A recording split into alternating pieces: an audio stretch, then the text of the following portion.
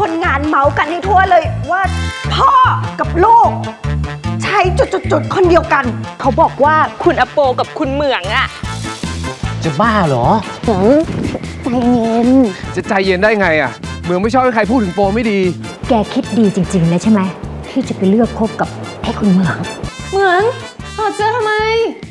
จนกว่าจะได้รักกันโอ้จะคืนนี้ 20นาฬิกา 30 นาที ดูทีวีกด